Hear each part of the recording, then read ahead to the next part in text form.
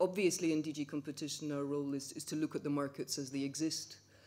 Um, and what we see in terms of cloud computing is that these really are very early days. We have no specific experience of any particularly cloud specific competition issues. The few instances of cloud cases we've run across have tended to be simplified joint, joint ventures under our merger control procedures. Most recently, in February of this year, we cleared a joint venture between um, the CDC and Bull in France. And I think what's quite notable there is as is our normal practice in a, in a phase one simplified merger, we left all of the market definitions as open as possible.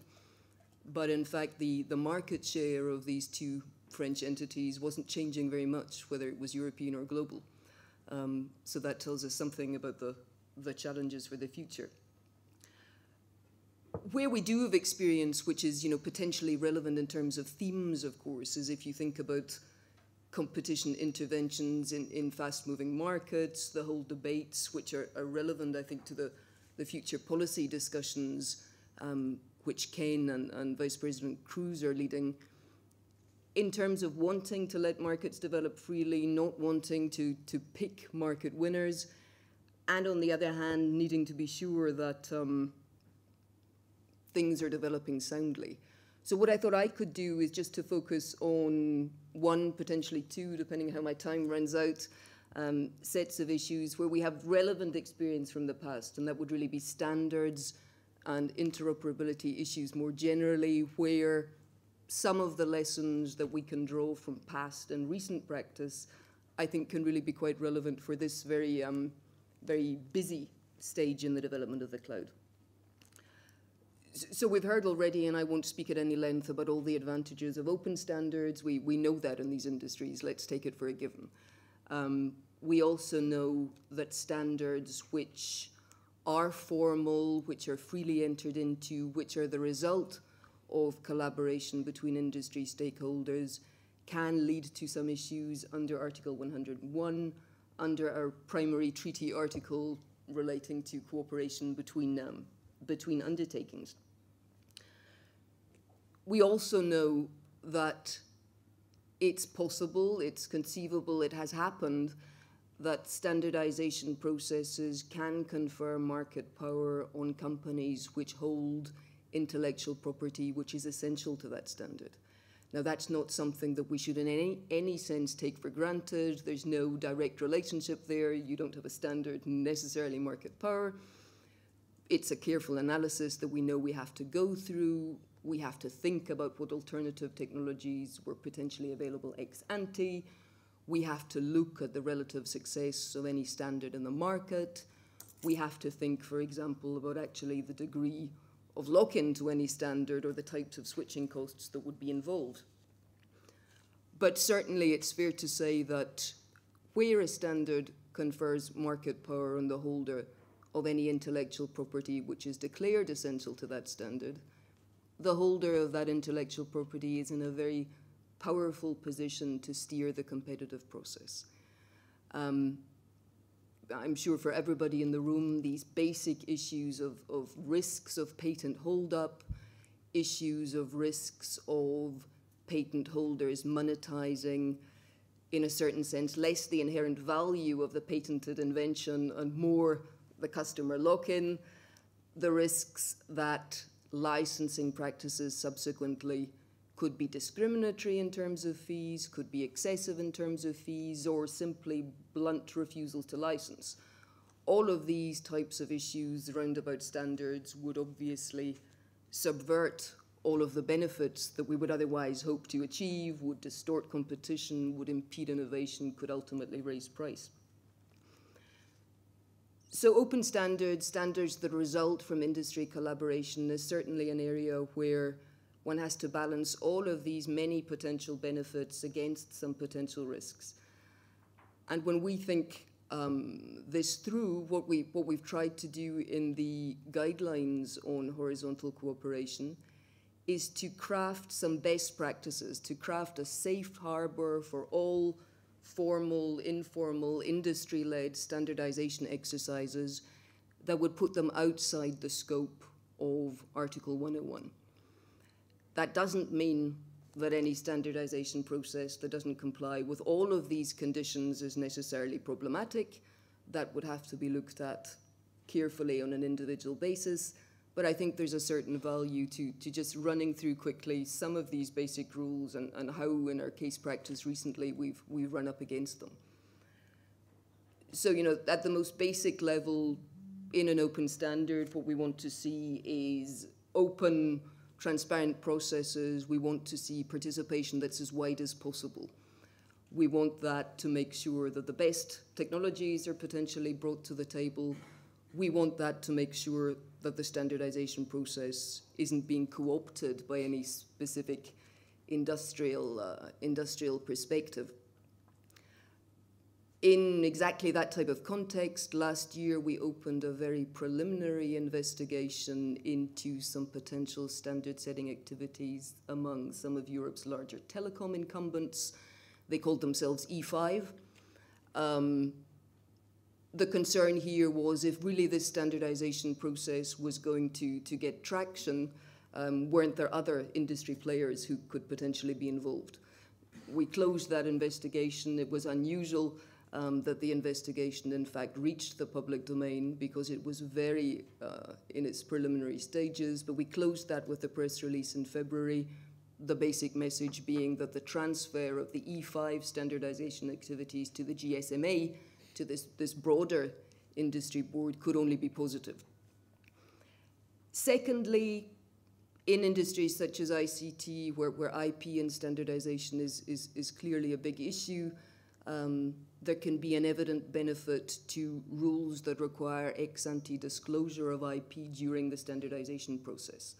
Um, a very simple rationale try to avoid patent ambush type scenarios, try to avoid situations where you haven't had a genuine opportunity to look at technologies on their merits. Um, because that can obviously be skewed if there's some deceptive intent or some failure to reveal potential IP reading on a standard during the discussions themselves. Now, these types of patent ambush issues are exactly what we ran into in, um, in the Rambus case, in, uh, in relation to, the, to, to JEDEC and the various standardization processes around about DRAMs, um, a concern there that Rambus had failed to disclose IP potentially reading on a standard during the process and had sought to reap some um, fairly, fairly significant royalties there afterwards. Ended with an Article 9 commitment decision, so for lawyers in the room, of course, no finding of infringement, especially anybody from Rambus, um, but an important commitment from Rambus which allowed us to close our file in terms of capping royalty rates on a global basis for the future. The third critical issue that's worth mentioning, and it picks up on something Katerina says, of course, is that if a standard is going to produce any benefits, it has to be accessible. Um, so, to the extent that there's any IP involved in a standard, there should be an upfront commitment to license it to anybody interested on fair, reasonable, and non discriminatory terms. FRAND for us, RAND for our sister agencies in Washington, D.C., but I don't really think that meaning um, changes very much. Um, now, why is that so important? As I've said, you can't have any benefit of a standard if, if you don't have it accessible, and you certainly do have these um, various risks um, round about um, accessibility of standards uh, without it.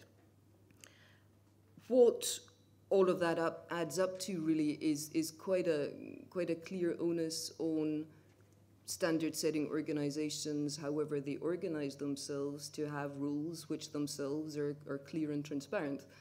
Because many of these problems are in fact best treated before they occur during the standardization process. In terms of standardization and our most recent um, case practice, obviously one of the more contentious and discussed issues relates to what FRAND, what fair, reasonable, and non discriminatory licensing terms actually means in practice, and notably in relation to injunctions. Um, this is something which we in the Commission have been relatively occupied with through the Google Motorola investigation and subsequently with two open formal proceedings, one in respect of Samsung, one in respect of Motorola, with one statement of objections notified to Samsung, which was at the end of last year.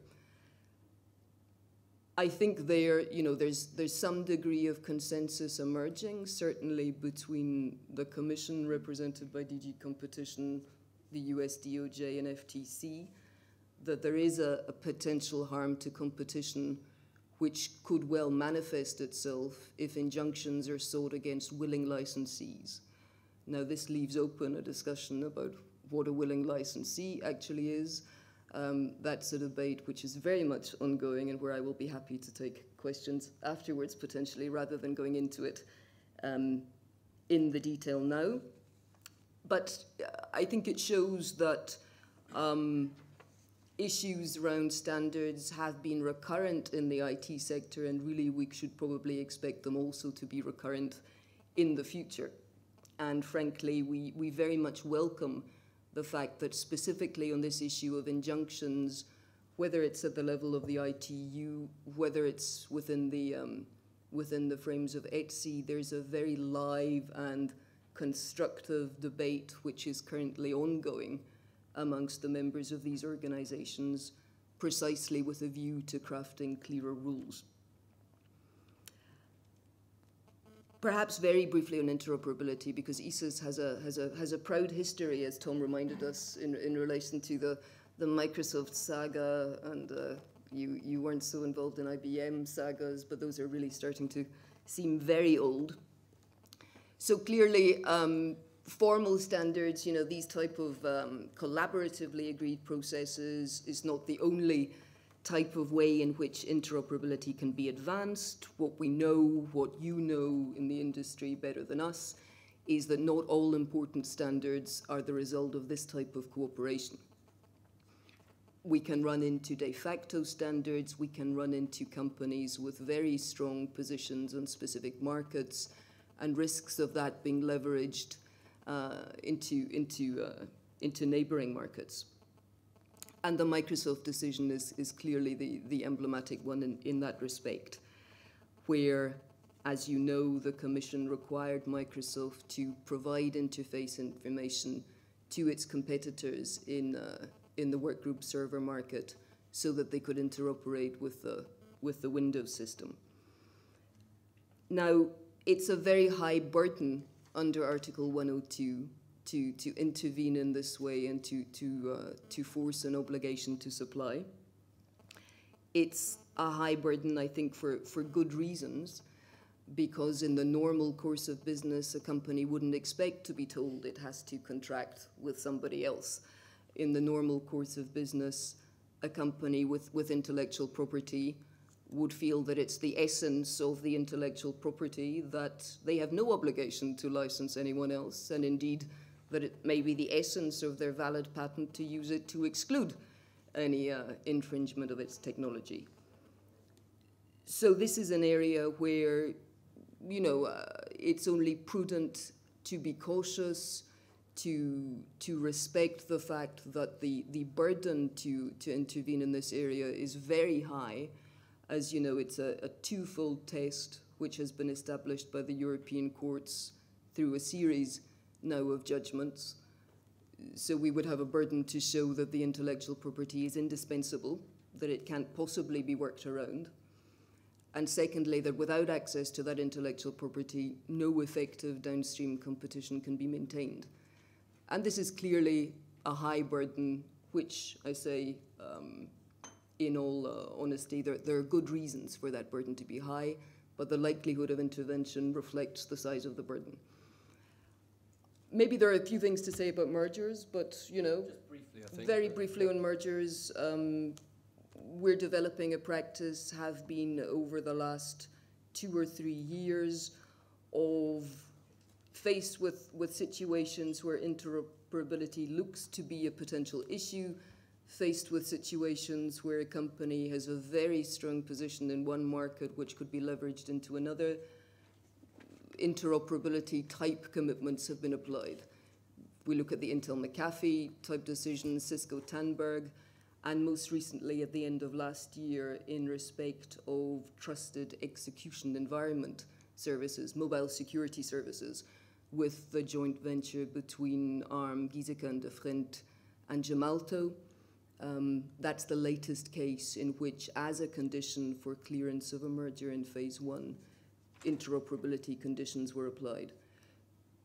I think globally, what we would say from a DG competition perspective is that, especially at this time of, of movement in these markets, really these issues would be better addressed ex ante than ex post. This is very clearly a scenario where prevention would be better than cure.